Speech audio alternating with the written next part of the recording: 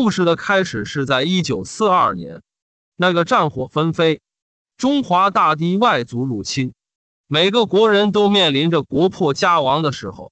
在湖南西边有一个小县城叫沅陵，在沅陵有一个五十多岁的老头，姓石。这个老头年轻的时候，在冯玉祥率军南征时，离开家乡参了军，十多年来。跟随在冯玉祥的部队南北征战，大小仗打了无数。后来军阀混战陷入了白热化，石老头渐渐的对这些军阀嘴里所说的那些民族大义之类的话产生了厌恶。他已经明白，每个人口中不管他说的是什么，其实大家心里想的都是自己当帝王。于是他对这些军阀都失望透顶。在一次战斗之后，他就在战场上装死，随后找了个机会溜了出来，当了逃兵，接着一路辗转返回到了家乡。大家好，这里是关山太保，我是主播于连州。如果喜欢我们的故事，那就订阅我们吧。在家乡待了没几年，因为他出过远门，见过大世面。又在军队里摸爬滚打了十多年，很快他用自己的能力和远见，得到了十里八乡众多乡亲们的信任和尊重。又是很多年过去了，已经到了知天命年纪的石老头，虽然不是宗族族长或者里长，但是他的话对于方圆十几里的乡亲，却比官家的话还要管用。石老头宛然已经变成了。园陵一带的一霸，身子后面追随他的年轻后生伢子数以百计，就连当地附近几个山头的土匪，一听说是石老头，都要敬重三分，不敢说半个不字。再加上石老头本身辈分就很高，所以那时候在园陵，不论男女老幼，都会毕恭毕敬的称呼他一句石爹爹。原本石老头的日子过得不错，但是好事不长久。随着日本人的步步逼近，曾经征战多年的石老头，很快就看出日本人的意图，战火终将还是要烧到自己的家门口了。长沙大战一触即发，想必这小小的园林也不能逃过此番的战火之劫。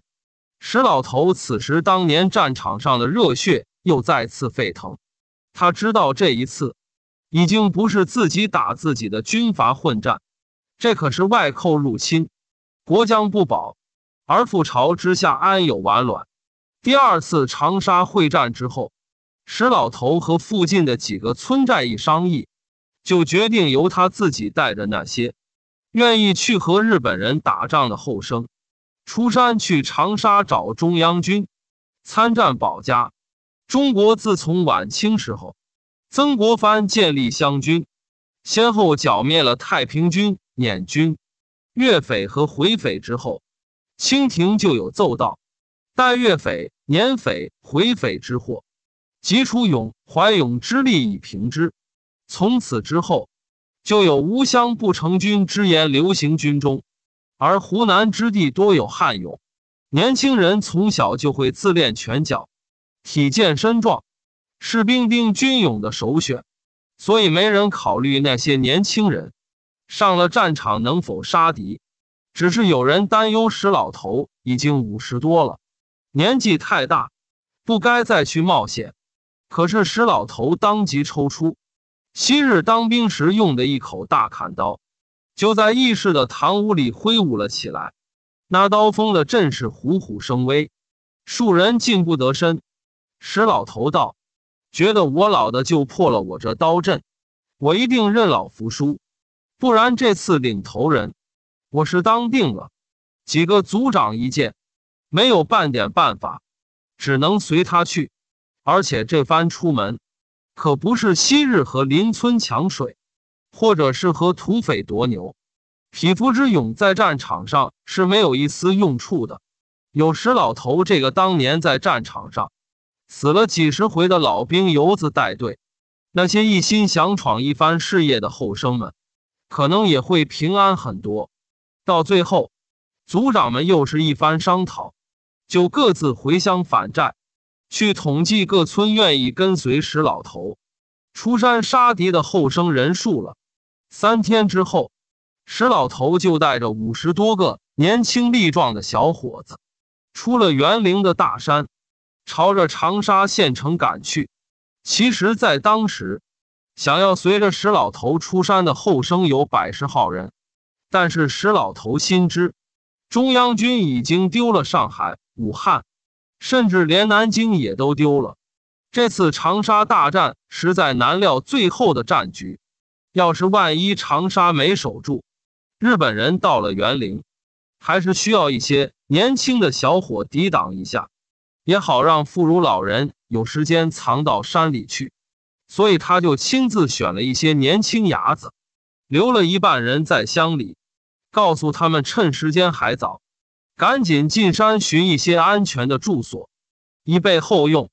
顺便把村里的粮食财物也尽早往山里转移。万一长沙没守住，日军打到了园林，也不会措手不及。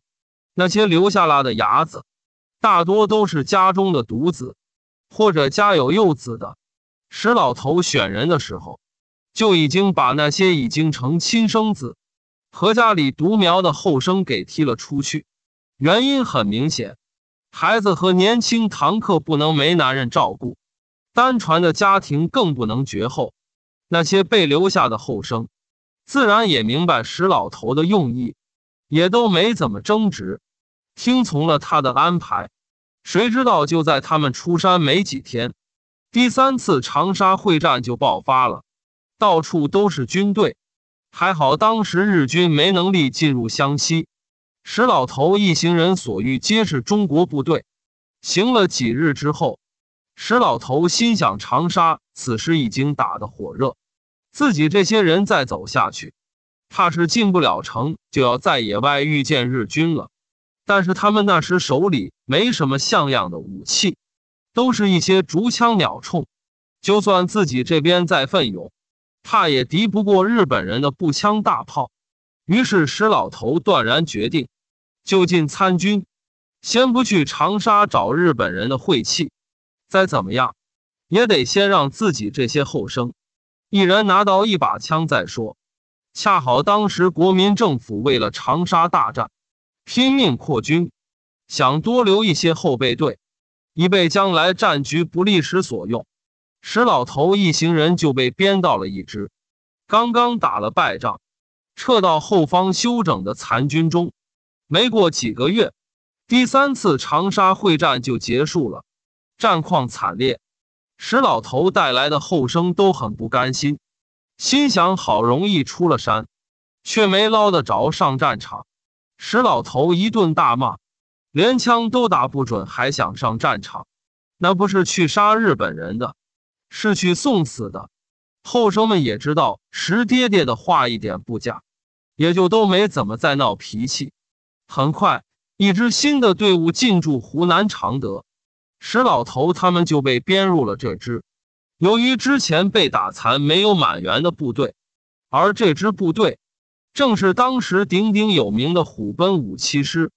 虎贲一词源于《书经》，武王有戎车三百辆，虎贲三百人。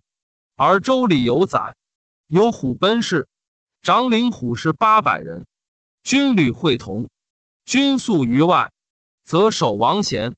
可见虎贲之军，当时算是君王的亲卫部队。后来到了秦汉之时，虎贲一词就泛指是精锐武士了。而贲字通义奔，虎贲一指其威势就如老虎奔走。而虎贲军汉时是战车部队，正合虎贲之意，相当一张。后来王莽篡权，一孤有勇士孟贲为故，正是将贲改为奔。虎贲军这才有了确切定军。此后，虎贲称号便成为历代英勇无敌的军队的最高荣誉。被赐予虎贲称谓的，无一不是举国无双的精锐之师。五七师的师长名叫于承万，在上高会战中正是因为他指挥五七师坚守下坡桥阵地，冒着的敌军炮火，与日军第三十四师团浴血奋战，为五七师赢得了虎贲的荣誉称号。由于石老头他们都是没上过战场的新兵，又都是一个地方出来的，五七师也就没有打算他们混入别的部队，直接把他们和另外一些补充兵编成了一支连队。作为后备军使用，打了多年仗的石老头，很敏感的预感到这次将有大战爆发，暗地里吩咐自己带来的伢子们，不要过于放松，千万莫丢了他们园林的脸面。而另一方面，石老头对于和他们一起混编到同个连队的另外几个人，感到了一丝不寻常的气息。除了他们园林来的那些人。旁的人都是很好相处的样子，可只有那个四个人从来不和他们搭腔，问点什么也回答的极为简略。日常生活里，这四个人也是抱团行动，也不和旁人过多的接触，似乎这四个人就是生活在自己的那个小圈子里。而这四个人的口音，听上去就是湖南本地人，带着一点湘西的口音。但是问及他们的家乡，此四人就如同聋了一般，毫无回应。石老头也算有些见识，但他却一直没有想透这几个人到底是什么来历。但是最让石老头感到不安的是，这四个人每个人无时无刻都在背后背着一个用油布包裹着的长条状的物体，从不离身。原本还以为是步枪之类。后来时间久了，越发觉得不像。石老头也曾试探的问过，四个人依旧像对他们的老家来历一样，不做回答。石老头还撞见他们好几次，在营房外面烧香焚纸的，也发觉他们每个月有那么固定的几天不吃荤腥，只饮水吃白粥。渐渐的，石老头隐隐的想到了什么，却也拿不定什么主意。越发觉得这四个人邪气的很，暗地怀疑这四人怕是湘西学巫蛊的苗人。可是就在石老头还没琢磨透这几个人什么来头的时候，轰轰烈烈的常德保卫战打响了。当时虎贲五七师只有八千余人，而来袭的日军攻击四万余人，而且皆为精锐，战斗打得异常惨烈。日本人在战斗中轰炸、火炮、燃烧弹轮番上阵，最后甚至还动用了毒气弹。而中国守军这方只能用简陋的武器和血肉去顽强抵抗日军的疯狂进攻。渐渐的，常德城内外都堆满了双方战死士兵的尸体。战争中最惨烈的白刃攻防战。也已经在常德城头进行过了数十次。于承万当时就曾下过命令道：“有一人使一人，有一枪使一枪，无枪则使刀矛或砖石木棒，与敌人死拼，直至弹尽粮绝。”足可见于承万和虎贲军拼死一战的勇气，何是与常德共存亡的决议。石老头他们连队。在战斗进行到第七天的时候，就被排上了战场。三天下来，一百出头的队伍就剩下了六十多个人。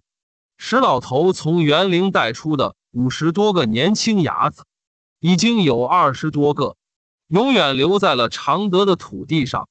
石老头突然间有了一丝后悔：这些死掉的后生都是他带出山的。要是以后回了园林，他又该怎么和他们的家里人交代？后来石老头又自嘲的笑了，心想：也许这次连自己也都回不去了，哪里还用想这么多？这时，老头子看见那四个湘西口音的奇怪人，别看连队里死了这么多人，可是这四个人却都活着，连伤都没有。都到了这个时候，石老头也没有什么顾忌了。直接走过去就问他们到底是哪里来的，说反正这次大家都得死在这里了。实在不想到死了都做一个糊涂鬼。那四个人互相看了看，终于其中一个人对他道：“你这次带出来的人还剩多少？”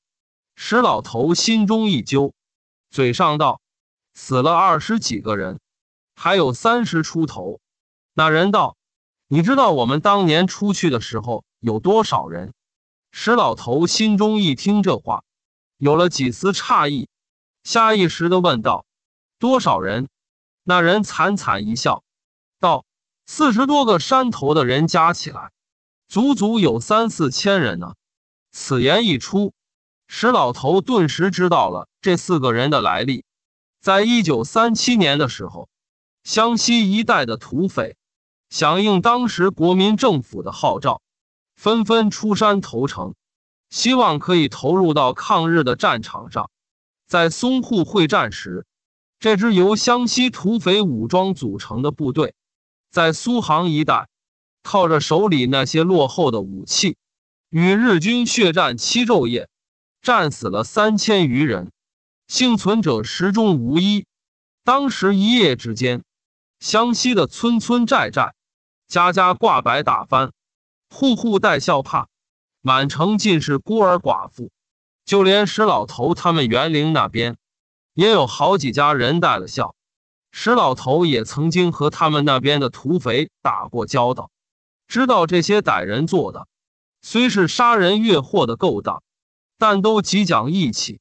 一般这些土匪不会为难自己山头周边的乡亲，只对过往商队和有富不仁的乡绅下手。而他们做活，也不像外界宣传那般凶残。实际上，他们尽量不伤人命，抢劫商队也不会全数拿走人家的钱财，会留足让商队返程时一路上吃喝住宿的银元。所以，石老头在得知了这些人的身份之后，也没有多大的反应。更何况，几个土匪早在和日军性命相搏的时候。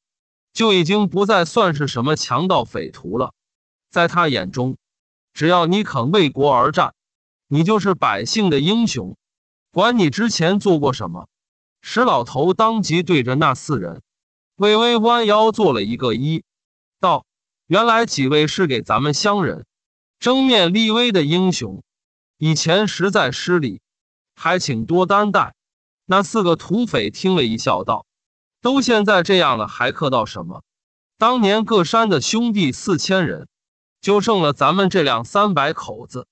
这些年打下来，好多兄弟少了手脚，都回家了。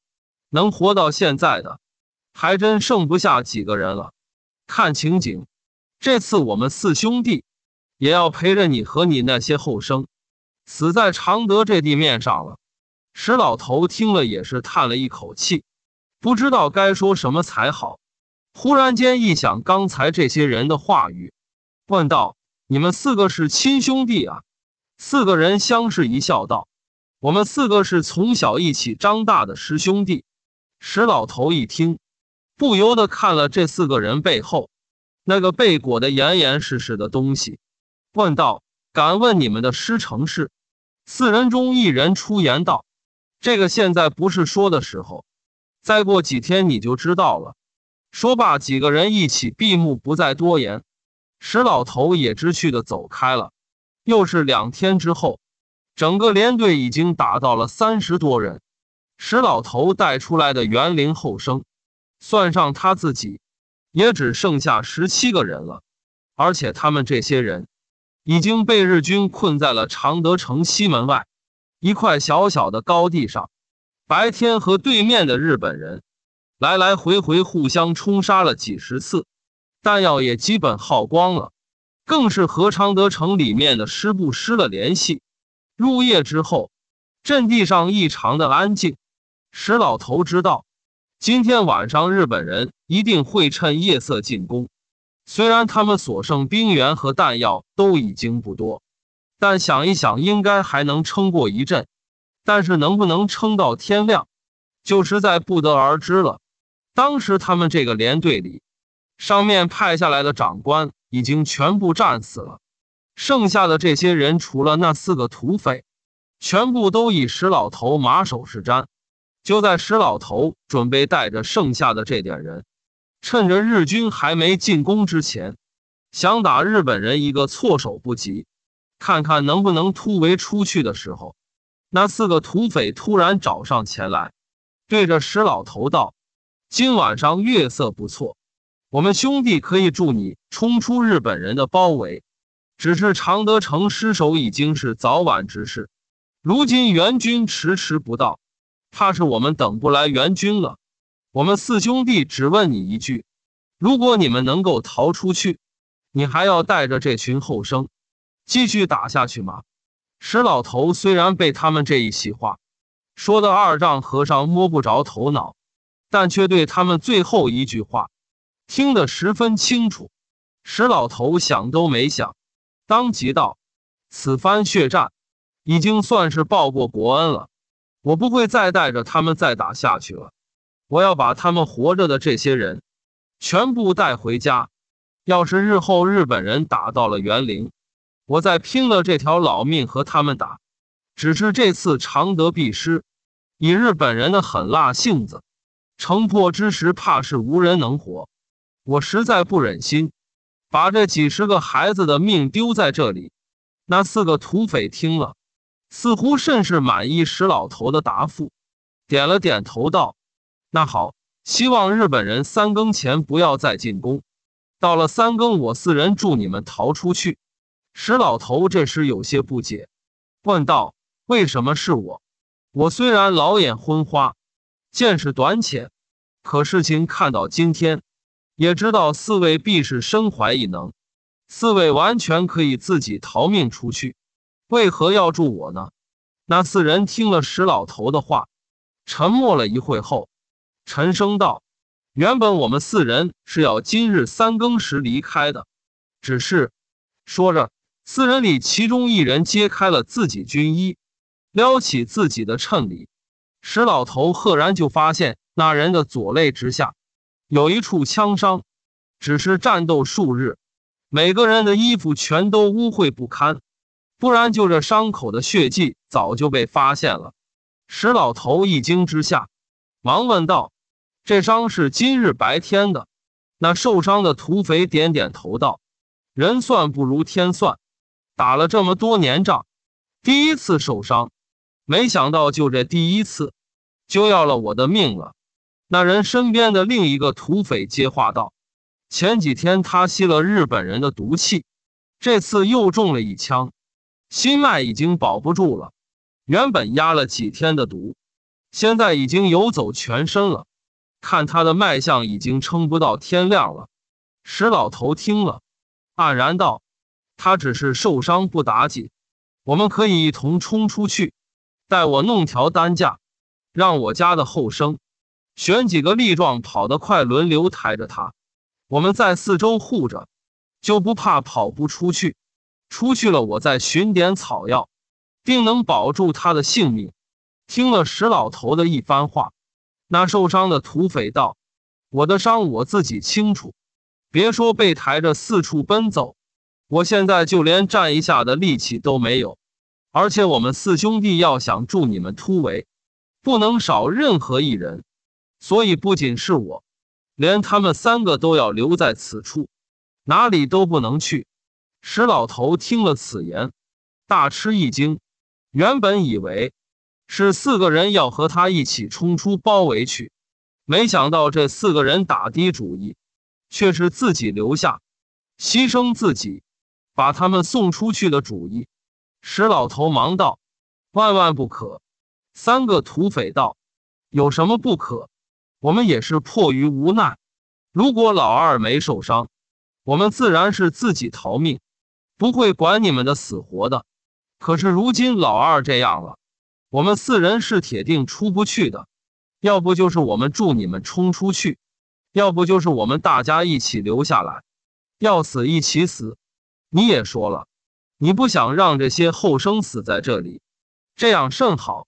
没想到我们几兄弟到死了还能做件好事，这下就算到了下面。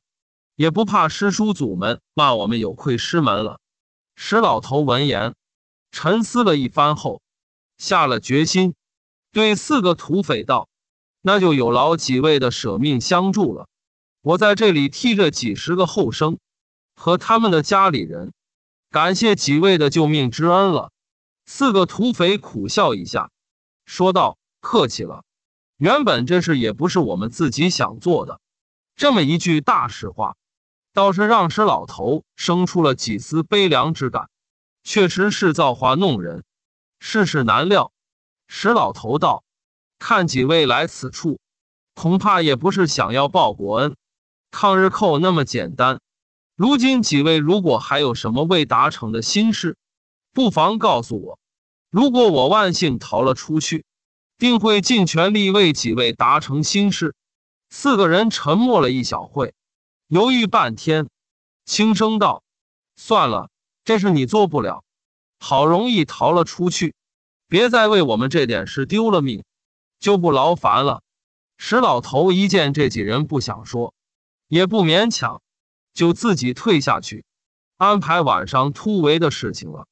到了三更时候，日本人也没有组织起什么像样的进攻，只是不停的骚扰，想是要拖垮石老头这边。到了下半夜，这边人困马乏到了极点的时候。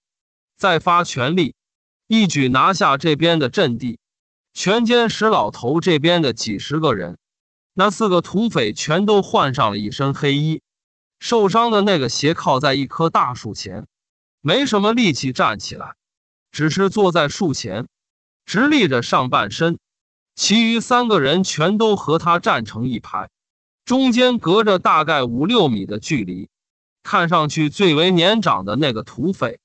从自己的背囊里掏出了一把半尺来长的供香，点燃之后分给了他们一人一根。然后他对石老头道：“一会无论发生什么事情，你们一定不要回头，回头了就再也不可能活着出去了。你们只管朝前走，双手拿着这个香捧在身前，千万不要停，直到这香燃尽了，你们再找地方藏起来。”然后就看你们的造化了。石老头点了点头，转身吩咐了其他人，一定要照着他们的话去办，不能多事。马上，这四个昔日的土匪就解下了自己身后的那个油布包，每个人身前的土地上插上三根香，打开布包，取出了里面的东西。这时，石老头才发现，原来他们包里那个。让自己百思不得其解的东西，竟然是四把黑色的油纸伞。那伞黑漆漆的伞面，隐约有一些红色的符文。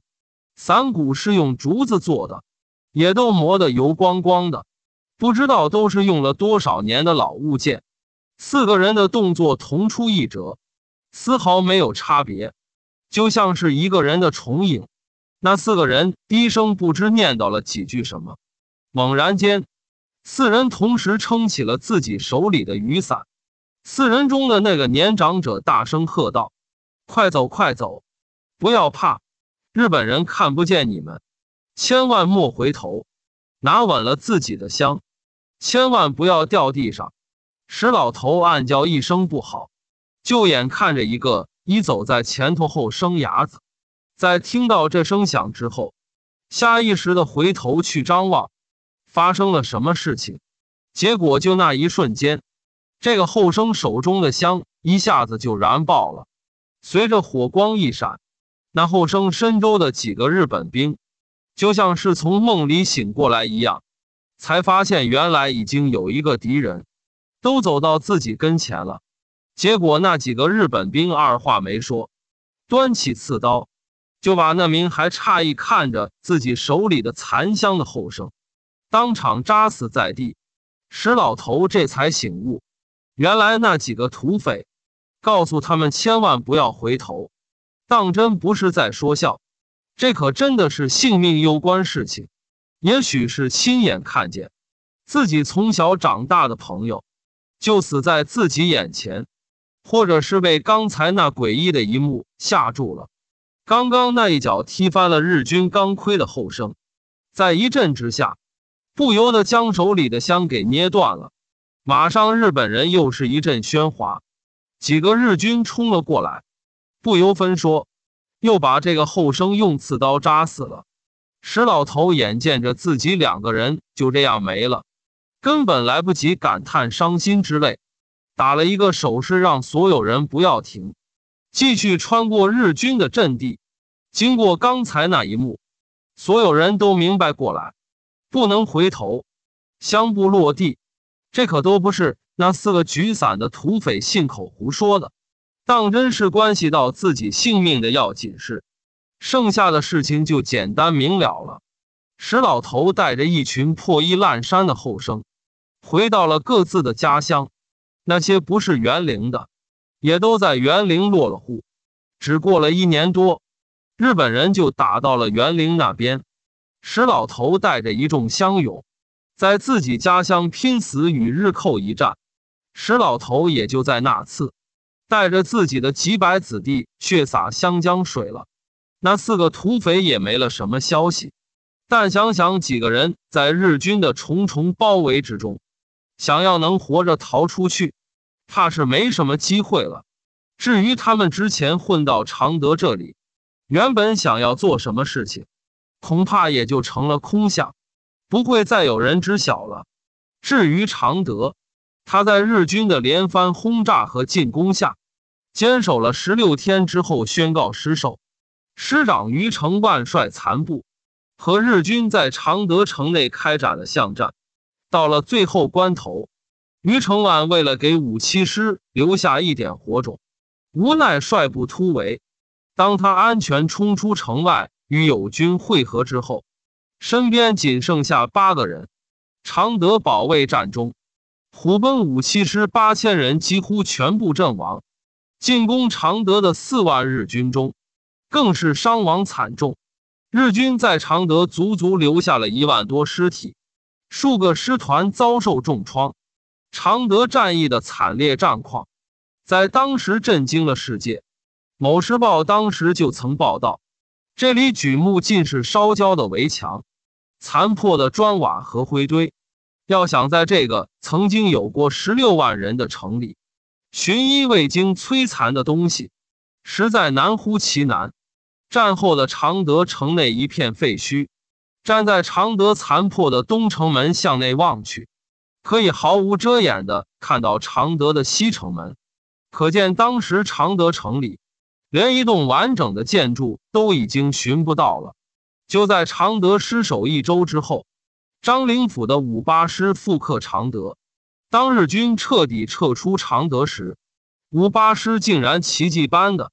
又在常德城里寻到了三百多名衣衫褴褛的虎贲将士。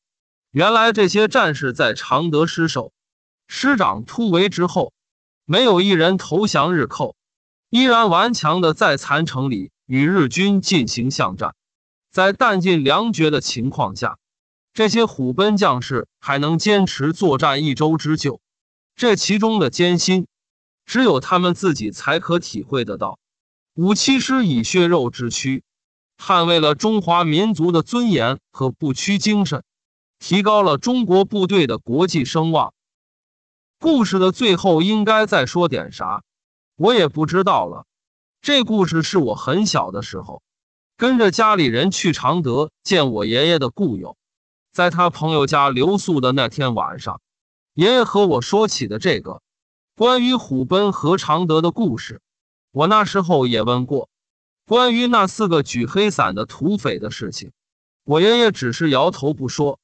这个故事到底是真是假，我也不知道。好了，今天的故事就讲到这里。